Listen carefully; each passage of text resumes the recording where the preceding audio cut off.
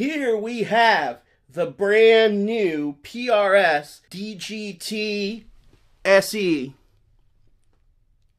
And boy, this thing has some secrets to unpack. Let's hear a jam and we'll talk about it.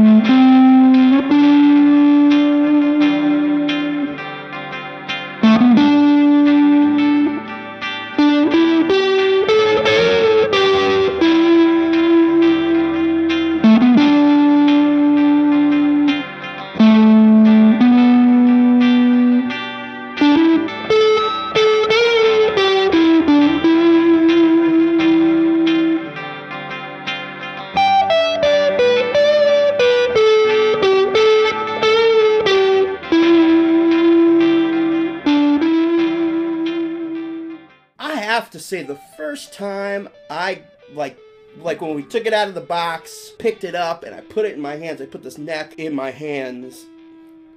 It was an interesting experience because it, messed with my brain a little bit, and I think I have an interesting conclusion at the end. But let's go through the guitar first. These are DGT SE pickups. So um, these are im- the import version of the DGT pickups.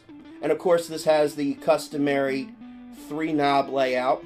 So you have a master tone and then two volume knobs. Um, and then you have a switch down here, which goes from neck uh, to middle, straight up, to bridge, um, all the way to the right. And of course, you see you have this PRS kind of strat style style uh, bridge here. You know, so it's like.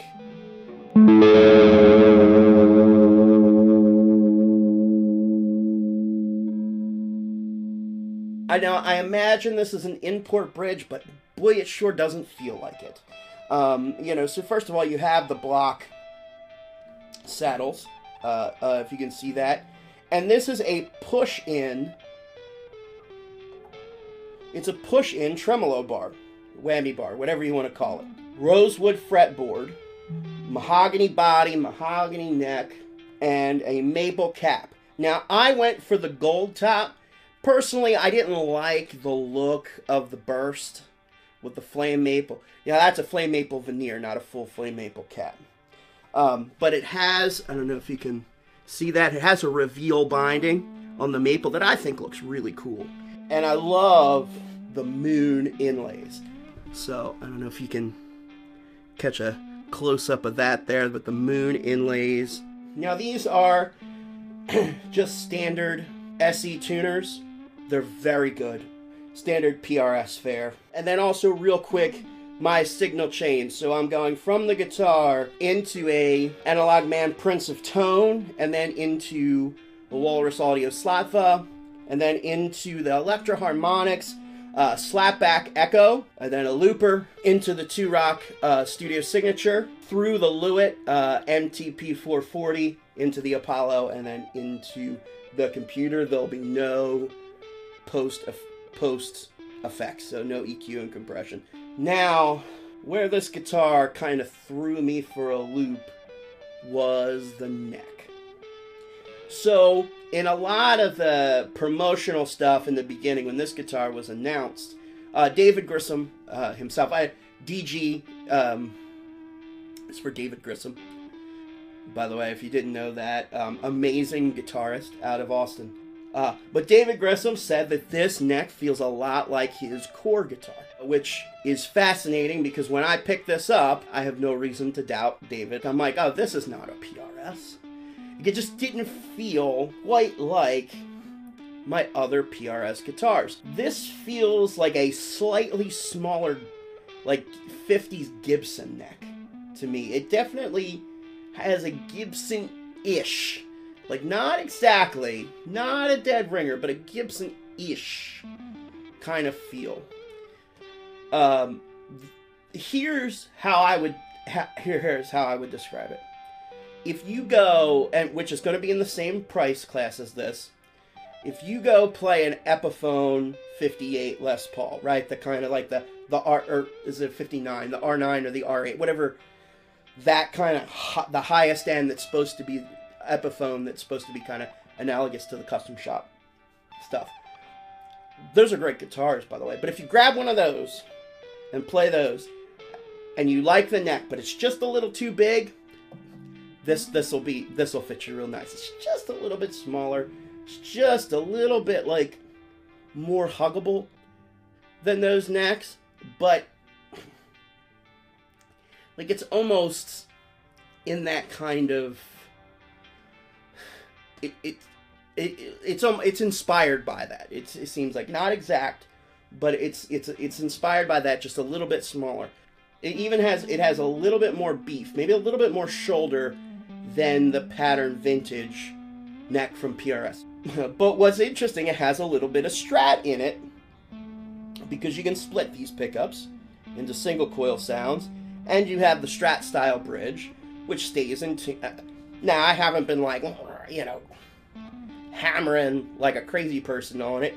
Now the setup out of the box was a little high, um, which is common with PRSs. You may want to budget or you shouldn't have to budget for it. You should be able to talk to your store where you buy this uh, if you're buying it new, um, and they should adjust the action a little bit for you because um, this isn't. While this is a this is affordable for PRS, it's not a cheap guitar. So this one is 850. I believe the Flame Maple one is a little more expensive, closer to a thousand dollars, and it feels really good and plays really good. The neck, even though it's high gloss, is not sticky. Um, and that is, uh, of course, the advantage to a poly finish. Solid guitar holds tune really well. All right, well, let's get into the sound samples. So we're going to start with, okay, everything on 10. And we're going to start with the neck.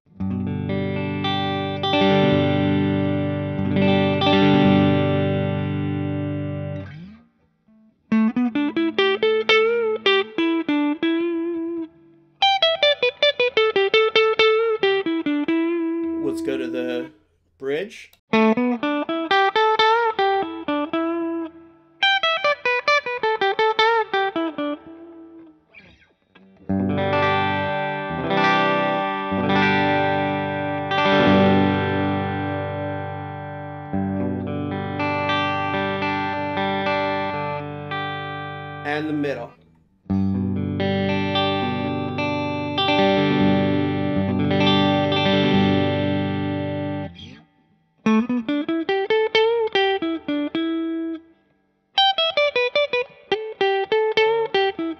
While we're on the middle, let's try just, just some some kind of funky, funky chords uh, to see how it deals with it.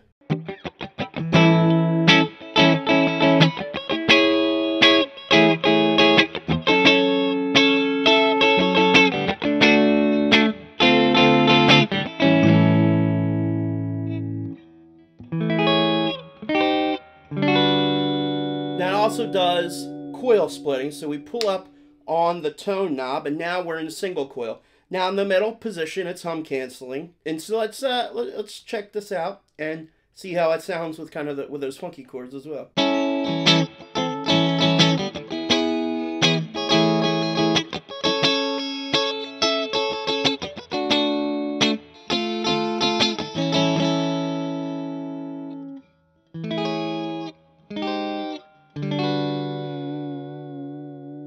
So you can get kind of that stratty position four kind of maybe closer to a telly. I don't know, you can kind of get some of that. So let's hear the single coil version of the neck pickup. It's important to realize that the, the output is much lower in single coil, but you don't have to worry about the matching because you can only do single coil mode or humbucker mode. You can't have like full humbucker on the bridge, but single coil in the neck, unfortunately.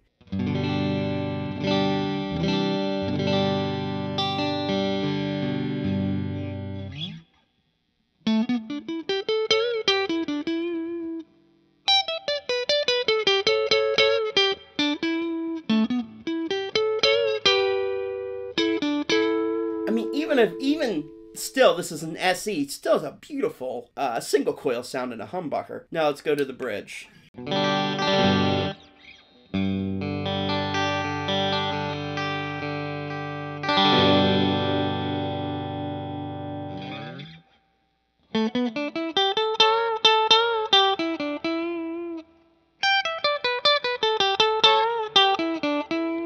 It's got kind of that middle pickups.